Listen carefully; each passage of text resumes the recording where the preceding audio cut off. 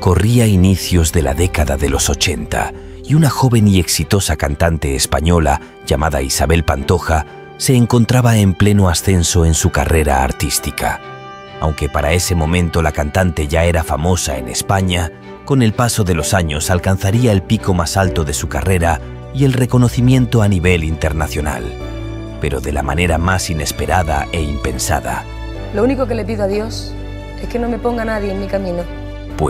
Su vida tomaría un giro inesperado cuando la repentina partida de su esposo no solo la dejaría devastada a ella y a su pequeño, sino que la llevaría a alejarse definitivamente de los escenarios y de la exitosa carrera que venía labrando con esfuerzo. Fue el momento más oscuro en la vida de la tonadillera, como era llamada por su peculiar forma de interpretar sus temas. Sin embargo, en el momento más difícil de su vida y su carrera, llegaría a su vida el reconocido compositor y cantante español llamado José Luis Perales, para convencerla con una de sus composiciones de que el mundo aún estaba a sus pies, llevándola desde ese momento no solo a cambiar su situación actual, sino llevándola a alcanzar el pico más alto y exitoso de toda su carrera profesional. Isabel Pantoja y el torero Francisco Rivera, más conocido como Paquirri, se conocieron a inicios de los 80 en un evento donde Paquirri era el protagonista. Aquella primera impresión por arte de ambos de inmediato se volvería una gran química que los llevaría a conocerse y empezarían a salir por algún tiempo.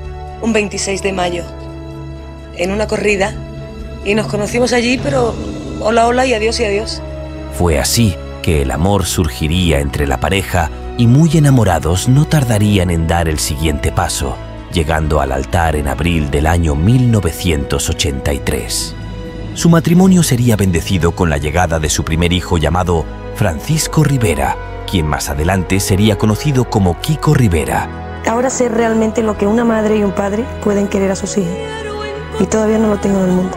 Todo en la familia era felicidad ya que ambos tenían un futuro planeado y metas por cumplir.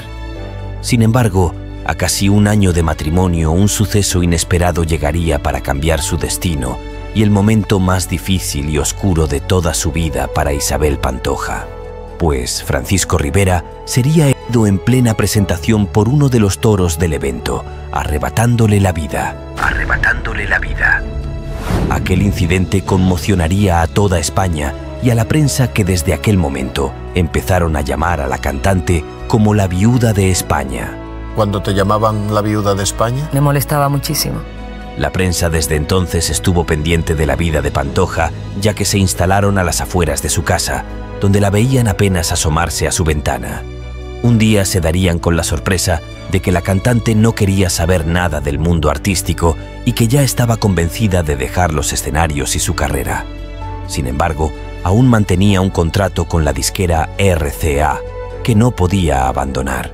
Pero todavía no se, no se sentía usted muy segura de si volvía o no volvía. Precisamente en ese momento tan difícil de su vida y con la ayuda de su disquera, aparecería un personaje que cambiaría el rumbo de su vida por completo y haría resurgir nuevamente su carrera. Una canción muy difícil para mí fue la que pude escribir para una mujer en su peor momento de tristeza. Hablo de Isabel Pantoja, un momento en el que ella ya no quería salir nunca más a cantar. José Luis Perales entendía a la perfección el momento actual de Isabel y le compondría un tema que no solo reflejaría el dolor de la cantante, sino también le ofrecía un camino en el cual poder desahogarse. Es así como llega a su vida el tema llamado Pensando en ti.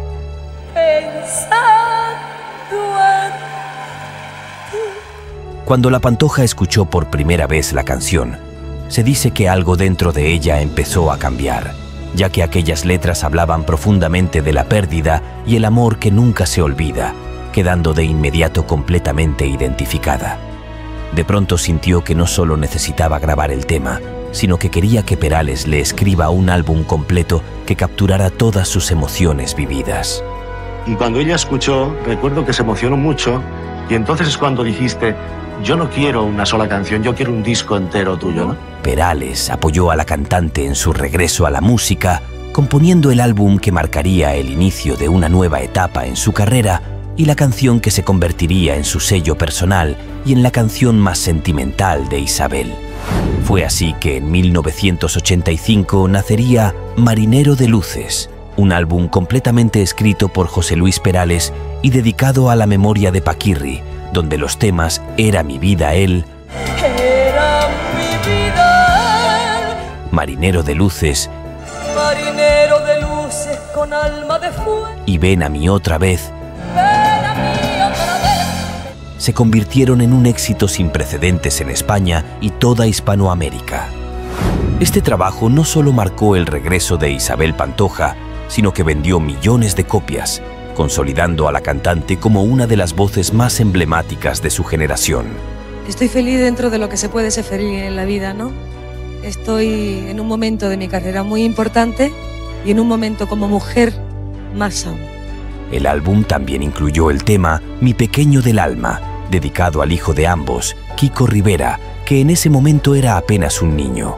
Mi pequeño de ama. Dicha colaboración continuó en 1989 con el álbum Se me enamora el alma, en el cual Perales compondría letras más frescas y ritmos acordes a la época. Sin embargo, en el año 1992, la melancolía regresaría al estilo de la Pantoja, con el álbum Corazón herido, donde nuevamente de la mano de Perales expresaría sus sentimientos personales. El hombre de corazón.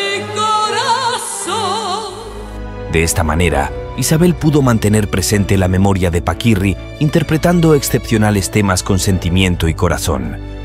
Además, le permitiría recuperarse de la pérdida de su esposo con los álbumes que le sirvieron como la mejor terapia para asimilar sus sentimientos a través de la música. A lo largo de los años, Isabel ha afirmado que Francisco Rivera Paquirri fue y siempre será el gran amor de su vida, y cada que tiene oportunidad siempre recuerda y le rinde homenaje a ese amor que un día le dio tanta felicidad. Yo tuve que dejarla de cantar. Y cuando he vuelto a escucharla, era mi vida él.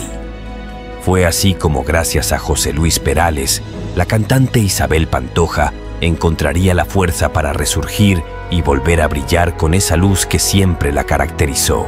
Que siempre la